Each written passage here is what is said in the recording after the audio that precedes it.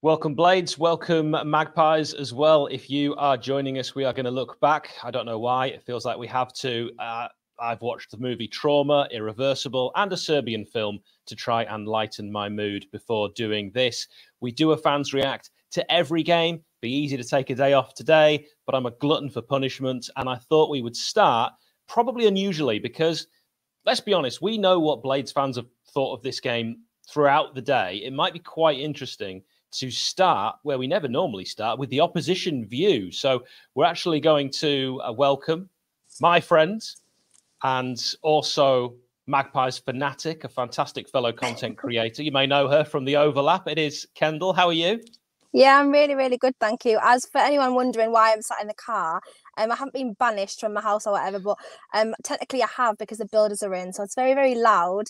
So actually, incredibly, it's a safe haven in my car right now. So this is this is where I am at. But yeah, thank you for having me, Hal, as always. Um, as I said, I'm not naive. I know I'm not the first face everyone wants to see today, especially Sheffield United fans. But um, yeah, thank you for having me as always. I'm really ah. appreciative. Ah it's it's good to get you on because you're a sensible Newcastle United fan. You and I have spoken. Well, I think the first time we chatted was probably about three years ago. If we really yeah. go that far back, and I, would like to ask you, how was that from a Newcastle United perspective? Yeah, it was. Uh, unexpected. I was very, I wasn't confident before the game. I'm not gonna lie, but I never am. Like this is still like years of like PTSD of like Bruce ball and whatever else went on. Um, so I'm not all massive. I wasn't massively confident going into the game. Um, I think you hadn't at that moment yet had like a really big scoreline in terms of against you guys or anything yeah. like that. Um, so I thought it's going to be a tough game. It's going to be really, really difficult. We'd been struggling to get results as well. Um, obviously against Brentford, it was only one 0 So I thought it was. I was actually quite worried. I'm not necessarily worried going into the game because I try not to be like that now. But I wasn't going there thinking, right, we're going to get a result here. I was like, this is going to be a hard fought game.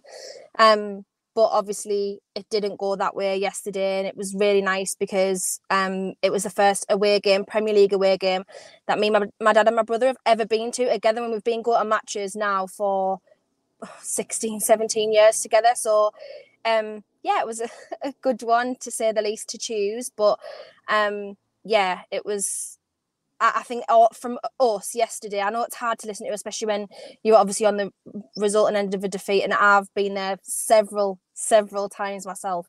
So it's awful to hear when someone's like, "Yeah, we were so good yesterday," but like we were, and our like our team in general, I've never seen such a solid performance from like the whole team across the team. Um, and for me, Gordon changed the game when he came on. So yeah. Re- realistically, when Barnes went off, I was like, "Oh no!" I hope this is just not an, like another setback for us, especially when we've got such a obviously congested schedule um in the next few months. But no, Gordon changed the game when he came on yesterday. So realistically, like obviously, I don't want injuries to anyone, but it worked in our favour yesterday. Harvey going off injured, so um yeah, it was nice to to see Gordon back. Uh, well, at his best really he's been so instrumental for us and um yeah it was a, a good team performance all around really from us I'm going to ask you this question. Though you said it was a great team performance. Do you, as an away fan, believe that it looked like Sheffield United players had given up at any point? Um, do you know what? I, I don't think they gave up necessarily. I just think it was like almost head loss. Like it wasn't given up from them in terms of like desire or anything like that. I just think no one knew what they were meant to be doing. There was just times where everyone's head was going down. Um, organizationally, it, it wasn't great, and I must admit, to be fair to them, I think the keeper, it sounds absolutely bizarre to say when you've been beaten 8 0, but he actually pulled off some really decent saves. And to be fair, in that first 15 minutes, it could have gone very, very differently. Had Harvey Barnes maybe not got injured, had you guys scored that really early chance that you had, um, it could have gone very, very differently. So for me, I think after 5 0, uh, the players just, it was just like a, if I was like that, my brother and my dad both play football, and I said to him yesterday, if you, how hard is it when you're on like in that situation as a player? And my brother was like, oh, you just can't even be bothered. Like you can't find the strength in your legs to like to battle anymore because you know what's happening. Um, and I don't blame them for feeling like that, but uh, yeah, I just think after five 0 it was just a bit like, uh, like the inevitable. Um, really at, at that point. So yeah, um, I just it just was probably not great to watch, obviously for you guys, but like yeah. even for a neutral, I guess it's just like you. It's not great to see a team like do that. Do you know what I mean? So, um, yeah, I'm just it's not not really ideal to be fair. No, I think that's a fair way to put it. Where do you think Sheffield United will finish, and then let me know where you think Newcastle United will finish. So when you guys got promoted, obviously you did really, really well. Um, won the championship and things like that. And I, I just was like, I think they're going to do fine again this season. But just, it's really sad because the teams like that have been promoted. So obviously Burnley, I expected to do. I'm um, sorry, Burnley won the championship, but um, Burnley were really, really good in the championship. They walked the championship, and I was just like, they're going to be fine. They've struggled. Luton Town have obviously struggled. Um, and you guys, I really thought you'd be fine. But then I did the overlap a few weeks ago before the season started, and the fan that was representing yourselves on there, he was basically just completely negative, like hundred percent negative. He was like, "I'm not looking forward to this season. Like, we're just gonna go back down." And I know it. And then my opinion changed then because I was like, "Oh no, like I'm looking." Obviously, as a neutral from the outside and not really understanding what is going on behind the scenes. And when he had said that and explained why, obviously you guys lost two your best players, um, it didn't really look great. So yeah, for me, I think unfortunately, I, I hate saying it because it's awful. We've been there, but um, I think it's um probably about nineteenth. Um, I'm afraid. I hate saying it. I really do. It makes us feel ill because, as I say, we've done it as well. But um, for me, I think Newcastle fifth is where I had us. Um, okay. I didn't expect us to struggle as much against like Brighton, although Brighton are fantastic. They're like a fantastic, fantastic team. Um, I didn't expect us to get smashed by them um, either. And the Liverpool game is going to just sit in my memory for ages. But hopefully, we've got like a relatively okay run looking on paper. That's saying the least in the Premier League at this stage. Uh, we've got Burnley at home next, so we should be looking to win there as well. So yeah, as long as we get back into some form of European football next year, hopefully Europa League at the least, I'm relatively happy with that. So sixth, I'm actually okay with. Um, okay. As long as we have a decent cup run as well. So yeah, yeah I'll, I'll be okay with that.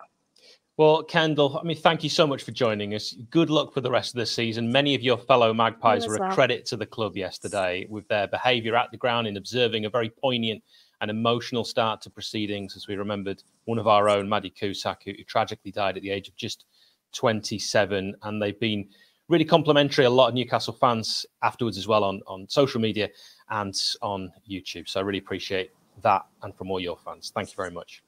No, thank you. The tribute was obviously I wouldn't expect anything less, but it was amazing yesterday. It was. Um, and yeah, but good luck for the rest of the season. I know it's, it, you don't want to do this show, and I know you don't. It, it's the worst crack ever. Like, you, obviously, I know you've been there as well, and I have. So, mm. uh, it, it's awful to do it. But yeah, thank you as always for having me. Um, and yeah, yesterday was from a obviously a perspective other than the result, the, the ground, the ground oh, staff, great, the stewards, the fans were were really really good. So, um, so yeah, thank you.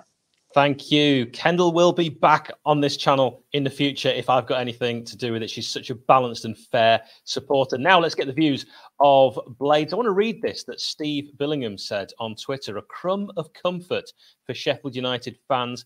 Best I can tell, there's been nine previous occasions where a team conceded eight or nine goals in a match in the Premier League. That's a crucial bit of that. Only three times has that team been relegated in the same season. Alec, do you take a crumb of comfort from that, or indeed anything you've witnessed this season? Um, I mean, I remember Southampton getting hammered and staying up. So you know, it, it does it does happen. We're not the first, and you know, it's. Uh, I think I said this to you yesterday. It's such a, a brutal and unforgiving league that if you make small mistakes, you can be really harshly punished. Um, did I take? I've certainly taken. I've been a bit limited in terms of which I've been able to watch and which I haven't. Like so, second half against Forest, I watched, which I you know I thought that was a good performance. Um, and otherwise, I've been uh, Everton. I watched, which is you know up and down, but there was certainly a lot of uh, very positive signs there. Spurs, I was stuck in the country and couldn't watch, but you know we were very good for what ninety minutes yeah. by all accounts. Yeah. Um, and you know, obviously we we we put up a good fight against Man City. So I just keep I don't know. It was it was such an out of character performance yesterday that it just it just feels like an aberration. It feels like a one off. It feels so. like something something mad happened. Maybe the you know the players were affected by the Maddie stuff. Maybe you know just conceding three in fourteen minutes, and then you know you that's going to have a, a pretty significant impact on you mentally. I think it's it's pretty significant that we're missing McBurnie, we're missing Baldock, who are not only great players, they're two big characters in that squad, and True. they're two you know real um, tenacious and resilient uh, characters as well. And I think that that might have sort of kept the train on the rails a bit more if, if they were there and if they were um, keeping the standards up. Um, so yeah, I I I can't defend yesterday, but I think the season as a whole, there there have been certainly reasons to be positive, and um, I'm certainly looking for us to bounce back strongly. And I think Heckingbottom said yesterday, we, you know, we can't let this define our season. And it, and it, you know, it doesn't have to define our season. It's it's one horrible game. Obviously, it's got got an impact on our goal difference. And yeah. you know, let's get let's get McBurnie in back in. Let's get Baldock back in. Let's get back to the fundamentals of what this has been built on, and let's and let's you know give give the league a good go and, and see what happens. Yeah, you can't spell fundamentals without fun. This guy's fun, always good value. Pompey, I really am looking forward to this. This is going to be box office. Your thoughts on that result? I think, uh, and, and, hi, Alec, hi, hi, hi Al. Um, just a quick one um, with regards Maddie as well. Um, big tributes to her. Uh, it was good to see Lauren Hemp tapping her arm, her armband when she scored uh, the other night for England, and um, you know we all feel this about her. But moving on to the game, um, I, I really, to be honest with you, I think this has been coming for years, hasn't it? You know, we expected to have this um, when we first went up with Wilder. Um, I think I think we were expecting to get trounced over and over again. Okay, the big surprise was there because we were the new kids on the block. We had a new style of playing. Nobody could suss us out until after the lockdown. So we ended up in this elevated position. But certainly the next season and subsequent seasons, we've always kind of flattered to deceive, and we've never been the vanquishing sort of Sheffield United that we were under Wilder. And I think really with the rumours as well of him coming back, I, I just think he's going to reset the side to that, and I don't I don't think he's got any legs. The result itself, I mean, like I say, if you're playing against that sort of that sort of that sort of side, and, and you're playing old style Sheffield United football, it's predictable. There was vast holes in the whole of the park, you know, right the way across the pitch, you know, in the midfield and out wide. And Newcastle just exploited it. They just they just took us to pieces. It was a, de- a demolition, and it was a real lesson that I think. And, and I have to horribly say this. I think we've been waiting to be taught that for some time. Uh, we we were we were like that during the latter stages of Wilder's uh, exit, you know, against Leicester, the first game that after him, you know, we got absolutely smashed, and it, it's it's something that we, you know, uh, who's going to be relishing going away to to West Ham next time. But I think that's where we just rebuild. It, it, it can't get any worse than this. I hope. I really hope it, it can't get any worse than I this. I very you know. much hope no one's clipping that in a few months' time. well, I mean, I do, I do, recall, I do recall having a, um, a fans react some years ago when Wilder went, and uh, I think one of your correspondents, it might have been me, said. Um, we, we, we haven't we haven't seen the last of Wilder. He'll be back it at Bramall Lane. and quite a lot of people went, really, you know, and and it, it, it's a possibility, but I, I just don't think it's going to be the I don't think it's going to be the result that we're going to need. We're going to need. I think we need we need to clean out the Wilderisms in the in the you know the the sort of Egan clean Norwood out the Wilderisms. Yeah, yeah. The, clean well, out the the, the the the the Egan and the Norwood nexus in the middle. But Stop. can I just say, Pompey, yes. if we if we don't clean out the Wilderisms, it would mean that Tufty Club as a as a podcast actually makes sense again, wouldn't it, Mark? It would, yeah. Do, do not name your social media thing after uh, a member of staff in the notoriously highest turnover of staff game of football. You know, I can so, tell you've so, been yeah, at work. yeah, yeah, I've been at work. i am I'm, I'm wearing my work gear. I've just literally walked in. Um, so yeah, I'm from one uh, unenjoyable task to another. well, that's good to hear. I mean, when you speak about people that have just come from work, Paul is also in uh, in work attire. Paul, welcome. Hello, hello, hello, hello, Wedding. Hello, Pompey. How are we doing? Hello. It's good Hello. to see you again. Yeah, I'm just as, good to see as, you, Mark. as alluded to, just got home in my work top. I would have put a Blades top on, which I normally do for these things, but they just don't deserve it after yesterday, to be honest. They don't deserve it. Snacks, the lot of them, Mark. Snakes, lots of them. I'm feeling really left out with this United gear behind. I mean, best I can do. Hang on, I've got a sock have you got? here. Blade sock. um, I can hang that up. Will The stay up Mr. there? Soccer? No. No, Let's just not, not. go into what that's used for. All right. No. Yeah, yeah. It's, no, it's off. Absolutely. It's off my foot. It's clean. All right, currently. we've had uh, Kendall with the builders in, and you getting your sock out. I don't know what's going on. Uh, Paul, did you feel? And I'm just going to talk about the game for a moment. Call me crazy, but did you feel United were hard done by in that first half with the decisions, the first, or even the second, or even the third? Yeah, I think if you if you look at that first half on its own, without the debacle and the capitulation that happened afterwards, for the first 20 minutes, we did really well. You know, we were on top. We went out. We went at Newcastle. McAtee was the best player on the park. We we had a half chance, and I was thinking we can we could get something from this if we nick that first goal. Um, and then of course that first goal happened, and it was just a whole. It was a handball at the time. I just thought it's going to get chalked off. This, you know, it's like one of those where they've allowed it to go on, but it's just going to get pulled back. It's not going to be given. And again, it's it's the league that we're in, man. You know, I just I miss that championship so much, and we probably won't have long to wait till we're back in it again. But it's the whole. It's not in the moment anymore. And then when they actually gave the goal, you're questioning why, how how is that not handball? Yet when the Wolves player knees it onto his hand against Luton the day previous, a penalty is given. Where's the consistency there? Absolutely. And and there is there is no consistency.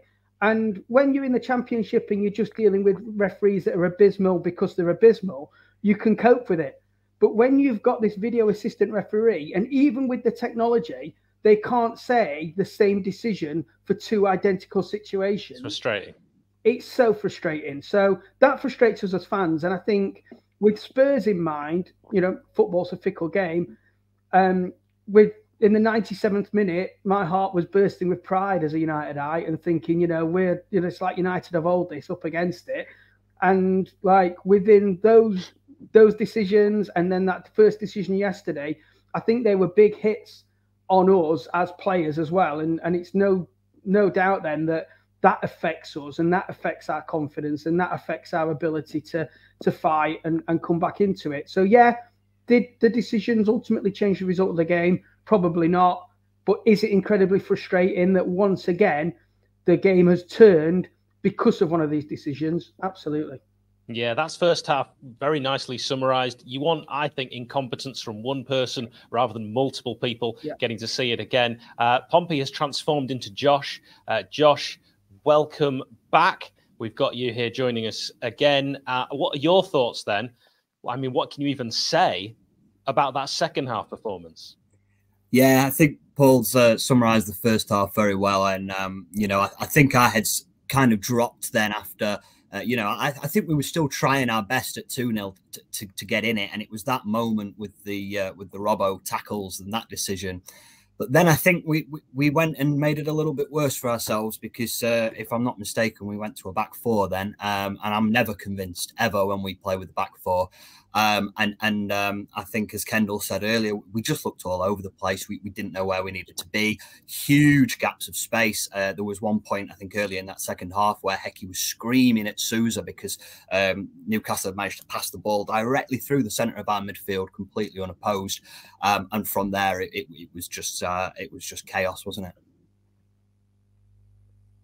It certainly was. It was really disappointing to see. Um, Mark, let's go back to Tufty Club. What did you believe, or, or did you even have any thoughts on the Daily Mail story about Paul Heckingbottom being replaced by Chris Wilder? And do you think that's had any impact as it's just been touched upon in the result?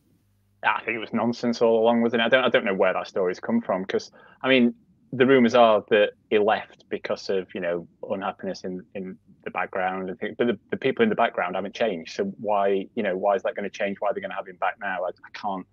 Especially as he's, he's soiled his record even further now, hasn't he? He's not actually got better as a manager, has he? He's got he's got worse. Is that the term? So, soiled it, yeah, yeah. It's like much like my sock, very very soiled. Um, and yeah, I, I think it's just nonsense all along. It's just people, papers making up stories, and they, they do this all the time anyway, don't they? And when you're in the Premier League, you get more of it because there's, I'm going to say more interest, only slightly more interest because they're only bothered about Mm. the top sort of six or ten, aren't they? But um, yeah, it, it's just people making stuff up to fill column inches.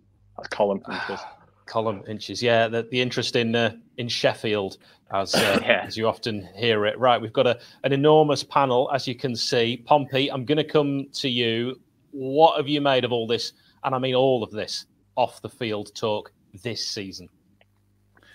Well, I mean, I mean, as as uh, Mark said, this is this is just it's just turbulence that they're they're stirring up, and the press do like to see what cause and effect they can have, uh, uh, particularly on the clubs down at the bottom and, and the struggling clubs. You know, if they can if they can um, get the fans chatting about this and get the clicks going on the internet, etc., etc., it's all very good, good business for them. But when it comes down to the to the what's happening on the pitch and what's happening in the changing room and in the training ground, it's the it's the strength of character with regards Hecky which counts, and I do believe that he will ride this out. I'm, I'm hopeful he does. I, I think there's a universal sort of feeling that Hecky, is our man, and the team have, have done their very very best with the very limited resources that we've been given. Everybody knows that we've not spent great, and we've brought in some middling. I won't say mediocre players. They haven't they haven't given us half a season yet for us to assess them fully but they're they're they're kind of underperforming, and we do need to change the system, you know. And I think if they if the press can can inject something like this, Wilder sat there rubbing his hands, thinking this is great, this is all about me, and Hecky's getting the pressure put on him. I just hope he he grits his teeth and then gets the players and gets their heads turned round, and next week shows the press and shows the rumour mongers exactly what Sheffield United are made of. You never know. Next week, Southampton did this when they got absolutely trounced by Leicester. They came back the following week and won away. So I mean, let's you know let, let's let that pass over the top of us. Let's discard it, like Mark says. It's it's all fluff. That's all it is. It's all Mark's fluff. Um, Alex, On his sock. Them socks again. Yeah. As long as it's only my uh, sock.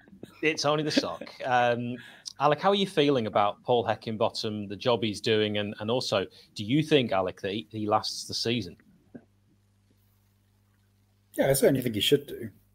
Um, I think we all know the circumstances which he's working. in. I thought if they, people haven't watched it, he spoke fantastically after the game to you know be able to process that, to be able to really come out and and say um, you know how we can't define our season and and say you know that it was a wake up call for the existing players and kind of a a message to the players to the new players you know that that a, a sort of um, very clear state um, demonstration of you know exactly the standards that, that we need to meet every single week to even be to even be competitive. So um, I think to be honest, like every single week, I think he speaks very well after games um, and very.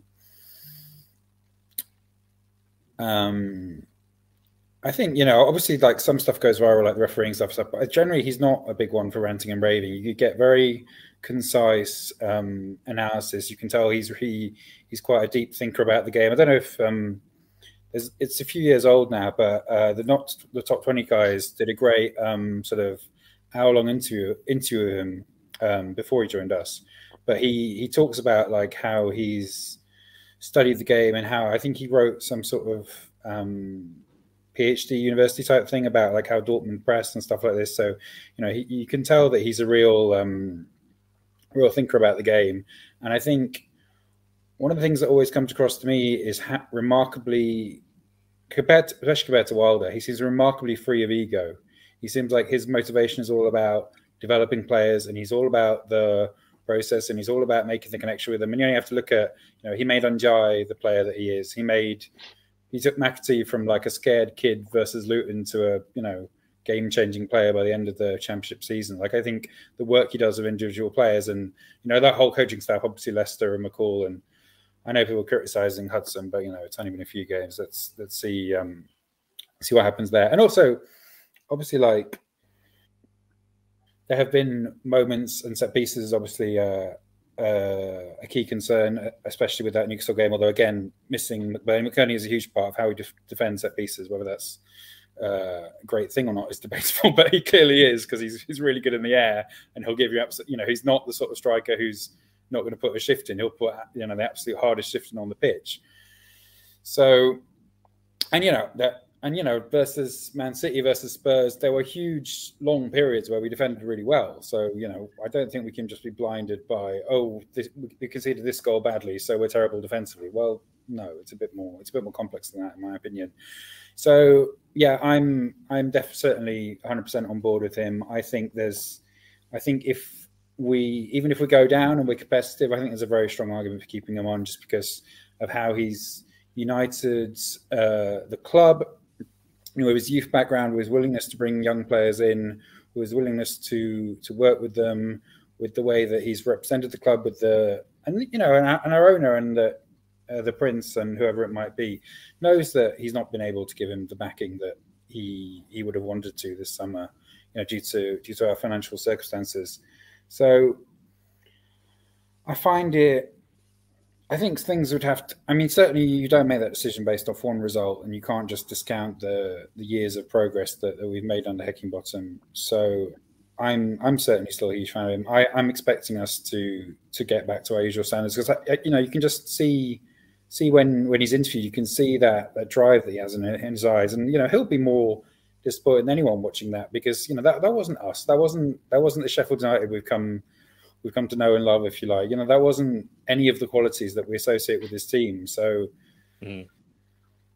yeah, sorry, that's a lot. Well, thank goodness. That, that was a great answer. And I saw a, a, number of people nodding along. Josh, let's get you back in on this. Just unmute yourself and uh, let us know. You were nodding so much to Alec. I think it's only right that I go to you. What are your thoughts on what he's just shared with us? No, I didn't notice I was nodding. Yeah, it must have. Uh, yeah, absolutely. I, I think Alex summed it up really, really well. You know, I think as well we sometimes all of us as football fans can be guilty of of kind of um, rewriting history a little bit based on kind of recency, you know, and um, and we have to look at what Hecky's done uh, since since he's been here, and and I include the, the brief spell that he had uh, in our in our last time in the Premier League as well, where he, he was able. I mean, ultimately we went down. I think we were always going down uh, at that point, but he was ultimately able to to stabilise what looked like a rapidly sinking ship.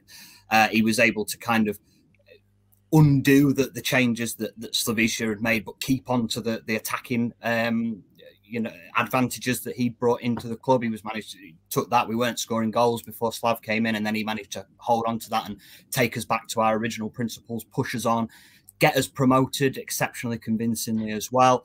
And you know, aside from this this result, um, and the results that we've had this season, I think some of the performances have, have suggested that we should stick with with Hecky. Um, and as well, you know, we need to be looking long term. We need to be looking at next season as well. Um, you know, what, what, what league are we going to be in if we're in the championship? For me, I can't think of anyone I'd rather have than Hecky taking us forward to bring us back up. Um, and, and, that for me, you know, unless we keep getting results like this week in week out and heads clearly go, then then sure, maybe a change is needed. But I think talking about that at this stage is, is not helpful. Mm. Paul, where do you think we go from here? We've got a really tough set of fixtures coming up. Yeah, we've got tough fixtures all season. That's the that's this league, and mm. you know it's it's really hard because I know you. I saw your little rant you did after the match, Albert, perfectly summed it up for me. That you you need in this league to have a billionaire owner these days, and if you don't have a billionaire owner, or you've not got just that one-off season where all the players come through like we had under Wilder's first season, you just can't compete anymore, and it's it's so, so hard. Um, however, you've got to remember that Newcastle, Man City, Tottenham, who had over 20 shots against us, aren't the teams we're going to be competing against. And if anything, we were probably far too open at the beginning of yesterday's game. I think if we go into that with more of a defensive mindset, especially without a number nine up front like against City, it's it's probably we still lose, but it's a very different outcome. Whereas against the likes of Forest and Everton, who are certainly more indicative of teams that we're going to be competing against in that bottom 10, we've matched them and, you know, we've come out, you know, pretty much on top in certain areas of those games, and with a little bit more luck, a bit of better finishing, or having players in for that Forest game, we could quite easily have had you know six or seven points on the board now. So I think I agree. You need to look at those. Yesterday was embarrassing. Yesterday was horrible. I work in a secondary school in deepest Derbyshire, and I've had the Mickey taken out with me by secondary school kids all day. The, got, I got into work this morning, and my head teacher came in. At the first thing he said to me was because he's a Forest fan naturally. It was he was absolutely gutted when Newcastle scored the eighth because he got a bottle of Seven Up ready to bring in for me in the morning. So and I've had that all day and it's embarrassing, but let's brush that under the carpet, put it to one side. Remember that when we played Everton, we could have won if it wasn't for Pickford. When we played Forest, we were on top for long parts, parts of that second half with with a scratch side. We've got injured players to come back in uh, if the if the sniper goes on holiday. And you know, there is positive. So we've got to try and remain as positive as we can. And in that mini league we're playing in, there are points to be won. Yep, we've just lost 8 0. Paul quietly says there are positives. Uh, always, Mark, always. you've just listened to that. I've got several questions for you. So, uh, Mark, you're uh, your partner in crime on the wonderful Tufty Club podcast, which I strongly recommend everyone takes time to listen to because unless it's the one on a train when a woman's being violently ill, they're really good. That one was awful. Uh, but your partner on that podcast. Yeah, um, David Beeden, um, Deadbat, has refused to join us on this particular uh, channel because he is a secondary school teacher. Now, Paul has just explained there that hasn't that hasn't halted him, and you also know all about Forest fans at work, so you must have had, after listening to that, quite a lot that you'd like to say. Don't prove well, me wrong. Yeah, I mean, I, I, don't work in a secondary school, and kids take the pee out of me, so you know, uh, it, it's no barrier to it, is it? And yeah, I, luckily I still work in Sheffield. I live in Nottingham. I keep my head down when I'm here. Um, I still I still work in Sheffield, so it's Wednesday fans I have to put with. So I've got the worst of all worlds everywhere. Um, but yeah, I, I think Mr. Deadbat himself, he can. I think I think he's more just afraid of getting getting the mick taken out of him, not for his football allegiances, but just his general demeanor. I think so. So I don't I don't think it's that. Um, and yeah, in, in, in, in, terms of Mickey taking and keeping my head down, I, yesterday, you know, as others have said, it's sort of a it's it's, it's hopefully a one off. Um, yeah. And yeah, I, the, the Forest game, as as has been alluded to, I'd have quite happily walked walked around with my head held high around here because I thought we're okay from that. And um, I normally don't walk around with my head held high because there's dog muck everywhere. Um, but it's I, I, I, agree with what everyone said, but before yesterday's game, I was feeling pretty positive. You know, we'd not exactly torn up trees, but we'd not looked out of place either. And you know, the City game, we, we played kind of a perfect-ish game. Even if you rule out the fact by half time it could have been 4 0 with the chances they had and the saves Wes made, but we played that game and, and we did it well. And, you know, kind of you could say the same with the Spurs game. Um, it was a fair result in the end. You know, they had loads of chances, but you know we played that game in the way we had, and we, we almost got a result out of it. So before yesterday, I thought the results are going to come. I even went on Shoreham View and said, "Yeah, I think we'll lose against Newcastle, but it's not going to be a hammering." So you know, what do I know? I, I won't invite you back on because I know nothing about football. So, I mean, it's, so it's your fault, uh, Pompey. Yeah.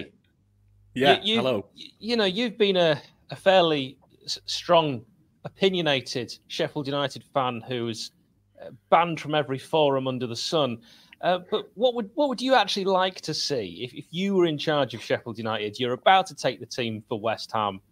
What do you do? Talk me through the changes you'd make. Well, obviously, the problem at the moment is we're conceding a lot of goals from from set plays and crosses. You know, you've only to look at the Forest game, you've only to look at certain other games. The ball drops almost effortlessly between two players onto the head of an opposition player. Now we've got to sort that out. We we didn't used to be like this. We didn't used to concede goals quite so freely from set plays, but yet every ball that goes in the box now, everybody's panicking about it, and it, and it's an opposition head that gets onto it. Um, I mean, you know, like I said, the the the, the, Forest game is a, is a key example. The Spurs game. Uh, what I'm surprised with with Hecky is uh, when they brought, I think it was Doucouré they brought on, wasn't it? What was it? Uh, the the guy from Brazil? They brought him on, and I thought to myself, I thought he's he, this guy's going to score. He's got a point to prove. Richarlison, sorry, do, do forgive me, Richarlison. So he, he's brought on, and I would have immediately put our best central defender, Oliver McBurnie, onto him and and said, "You don't let six inches between you and him." Uh, unfortunately, it was Chris Basham against the Brazilian international, uh, and he lost him effortlessly and got the equaliser. But what's wrong with putting Oli McBurnie from set pieces? From set pieces, he attacks the cross. Uh, everybody else is marking zones. Oliver McBurnie is the person with his eye on the ball, and really should have been side by side with Richarlison and, and not let him out of his sight. And it's that kind of error in tactics that I think that needs cleaning up. We've got to stop conceding goals such as that. You want to look at that Forest game, like I say, the two goals we conceded were just they were dreadful, and it completely negated something like Hamer's screamer from 25 yards. Uh, uh and uh, suddenly we're on the back foot. So and, and the other thing about it as well is obviously the midfield. The midfield needs sorting out. I'm not sure about De Souza. He, he runs about a lot. He doesn't what? seem to have. I'm, I'm not sure about him. I'm, I'm not sure about how he, he runs. He runs about a lot. He, he he's clearly struggling with the with the pressure and the the sort of the dynamics of the Premiership game. You know, he, he, he doesn't seem to have enough outlets for him. And like, like as was said yesterday with Hecky playing hell with the midfield, the gaps that were opening up yesterday were unbelievable, and we need there to close that up. Yeah, we need to close yeah. that up, and and and, dis, and Souza Souza can be that person. Think about what we had last season when we had Doyle in the side. The guy would collect the ball, he would battle the ball out, and he would take it up the pitch at his feet. He would be looking for outlets, and he would gain 30 or 40 yards up the pitch before he'd lay it off to McAtee or in, at the feet of Ndiaye. We haven't got that. All we've got is five years, six years worth of Oliver Norwood who stands around and points at things and knocks the odd ball off to a marked winger. It's that kind of thing that's that, that's gonna that's gonna it's gonna be the uh, yeah I know I'm, I'm I, I get brickbats for this. I, I, think I was banned for this from from S24SU or amongst other things. Uh, just for just for being just for being down on Oliver Norwood. I mean he's a club legend. I would, I would like someone to come out with a whiteboard and some of them little markers and explain exactly what he does in a game because to be honest with you we I think we've once him and Egan are out of the side and we start to reform and regroup it and get rid of these wilderisms, as I've said, I think we'll start to see some kind of Sheffield United um, resurgence. I just think we've we've played that game too long. We need to start going back to basics, going back to basic football. Even if it does mean play, we can't play four at the back with Egan. We can't. He's absolutely hopeless at playing four in the back. Although he plays for North, he plays for Ireland four with four in the back, but in red and white stripes, he's got. Sorry yeah, I, I, just, well. I just, I just can't. I, I, we, we, we've got to, we, we've got to get rid of these, these elements of Wilder out the side and just come back to being uh, playing, playing basic football through the fence centre of the park and and and utilising the wingers for what they are. We, are not very good at crossing. We never have been since Jack O'Connell left. He was probably the best crosser of the ball um, mm. since he left our service. Um, it's that it's those areas that we really need to concentrate on because let's face it, did did Archer actually have anything to do? Uh, um, but the, these kind he, of games, the last two games, aren't they aren't going to be Archer kind of games. I'm actually really surprised that he started, and I think it's quite harsh on him because he's not going to get any service whatsoever. I know, I know. I know, and and, and that only comes that only comes from keeping the ball and, and not being dispossessed so easily and driving it up the centre of the park and putting him putting him in on goal. Um, you know, it, it doesn't come from silly sloppy mistakes in the centre of the park and and leaving massive gaps between the back three so that you know you know someone like Wilson who's really good at getting between getting between those central defenders and nodding it in for the fourth. You know it, it, that was such an yeah. elemental goal. It really was. Basics. Alec sorry. I want to come to you. Are you confident sheffield united can get a result at west ham united yeah as long as we play like we have been and not sunday obviously, if we, if we, play like we did on Sunday, then yeah, no, obviously not. But um, yeah, um, I mean, McBurnie should certainly back. I the indications are, I think, that Baldock will be back as well. I think both of those will help. And I think you know, just yeah, generally get back to what we do. I mean, there, there, I do have a worry in that they're another quite physical side, um, and we've definitely struggled with that. I noticed there's a huge the difference in kind of athleticism and, and, physicality when you step up to the Premier League is absolutely massive, um, and that's been really noticeable you know, like Palace, Everton, Newcastle, uh, West Ham. I mean, all of them, to be honest, all of them have massive, massive players who are really hard to get the ball off and really difficult to compete with. it. I mean, just, I mean, Dan Burn is possibly the epitome of it, and now we're trying to mark Dan Burn. It's just, I mean, anyone trying to mark Dan Burn from a from a corner is, is going to struggle. Um, so they they do they definitely have a, a physical, dangerous threat. But you know, as if we yes, they were so slack. If we just if we tighten things up and if you know that that effort and that intensity and that um all our kind of defining characteristics are there, then yeah, I think we can give anyone a tough game and and um, we've got we've got players who, who can who can make a difference uh, up the top end of the pitch as well. So yeah, I mean, confident is always hard to say, but we should be a hell of a lot better. Alec, thank you for joining us. We're going to go through each and every one of you. Mark, what are your feelings for the rest of the season, my friend? Where do you see it going? Much the same as it has done, to be honest. I think the squad's paper thin or wafer, which is thinner, paper or wafer.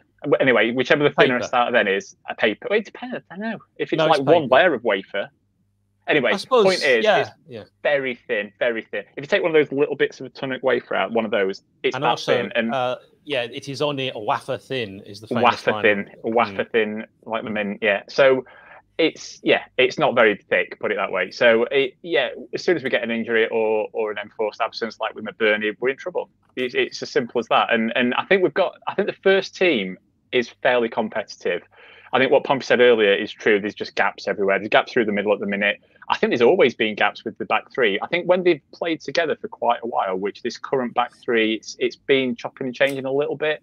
Um, when they play together quite a while, it sort of solidifies a bit. But we've had over the past three seasons, just getting in between the central and, and, one of the wide ones and just easy goals. Championship, we don't get punished as much. You know, we've, we've had chances without conceding. In the Premier League, we get punished every time. So, yeah, shore up those gaps a bit um, we we might we might make five or six points. Um, so yeah, I, I, think I think yeah we can we can be positive. I think yeah against the lower teams we've got a chance, but I, I just don't I just don't see it against the, the, bigger teams, especially when we've got people out. We just we just need we need some recruitment, or just to do what I think everyone said before the season started: take the money and run and build a, a side to to win the league next season. And are you uh, taking a week off, or are you doing a Tufty Club reaction to that? Um, it all depends on Mr. Beeden and his uh, and his tough times at work. You know, as, as we've alluded to, he's uh, he, he, struggles. Poor lad. You know, he's got he's got a, a, a tough job in schools as as uh, as, as we know, it's a tough sort of what nine till three job. So you know, he's, uh, it, you never, you never, when you work in a school, you never have to change a headlight on your car. That's a big positive. exactly. Yeah. yeah. Dark nights are coming, but not for you. Uh, so yeah, yeah. So we'll, we'll see what he says. Uh, yeah, we'll hopefully get something out. Because I think I think we're probably at our best when we're at, when United are at our worst. So yeah, hey, we'll, look, we'll, try and get something out. If he can't do it, I think give the people what they want, which is clearly uh, Pompey. And Mark, thank you very much for joining us. We've been trying to do this uh, for about yeah. six years, so uh, really, really do appreciate Thanks it. Thanks for having me on a proper podcast, uh, Stroke YouTube channel. Thank you. Well, as you mentioned, Stroke, I'll leave you with your sock. Um, so, uh, Pompey, your final thoughts as we head towards West Ham away, a team that I I hate. It's going to be tough. I mean, it always is tough down down in uh, in London, and uh, we've got another, we've got Fulham after that as well. So, you know, it, it's all on it's all on this. The players, don't get me wrong, the players are going to go into work, probably gone into work today, and they are going to be bereft. And it's up to Hecky now to pick them all up, get them going. You know, come on th- this is the trouncing we've been waiting for for years. Unfortunately, it's happened at Bramall Lane, which is not good. Um, they, they, they, those players will have looked round at those stands, those pink seats, how many there was by the final whistle, and that will be enough of a message for them that that just really wasn't good enough. It's it's not going to happen again. Okay, we might get dumped four, maybe five nil again this season, but putting a, a, performance like that where we get taken to bits, it's not going to happen to you. And from the from the start whistle, West Ham are going to expect exactly the same, and that might be a little bit presumptuous of them to think that they're good. We're going to want to come back out, and we're going to want to have to eat our own guts on on uh, the next game, and we're going to have to really take it to West Ham and push the ball up the pitch, stop giving it away, and just go at them. You know, we, we were from from three 0 down. I expected a response from three 0 down. I, I was looking. I was thinking to myself, you know, if we lost this three two, I'd be happy. But what we need to go at West Ham and we need to basically chew them up and and and, and get the result. Watch this space; it'll be another eight 0 But um, you know, let's let's let's pick the pick the club. It's been a tough week for the club, the whole club. It really has. You know, with with what's happened, the tragedy of Maddie, and this uh, heaped on top of it, which doesn't match the, uh, with the, the, situation with Maddie. But Absolutely. you know, come on, guys, let's end the bad times. Let's get on it and let's get at them and let's get up the table. We don't want to get relegated. Well said. All right, uh, Paul, let's go to you next. You've just heard that rallying cry. Stick the paper yeah. on the wall uh, from Pompey. Your final thoughts? Well, after Pompey's rallying cry there and me earlier saying that there's a lot of positives to take, um, I can't see us getting anything from the West Ham game, unfortunately. Uh, it's just, it's going to be tough this season. It's not going to be easy, but we're not going to be humiliated like that again. I think Hecky set out to be a bit too open and attacking yesterday. We massively missed McBurnie and with uh, Osler and Jebbison both injured, we didn't even have a replacement number nine. Um, McBurnie coming back makes a massive difference.